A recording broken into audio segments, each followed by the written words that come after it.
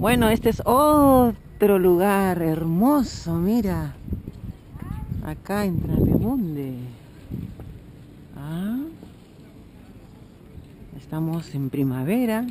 Entonces cuando es primavera, las tiendas, los restaurantes ponen sus mesas, su mercadería afuera.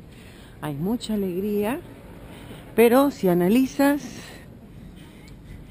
este clima hace calor, pero la gente está con chompa, con casaca.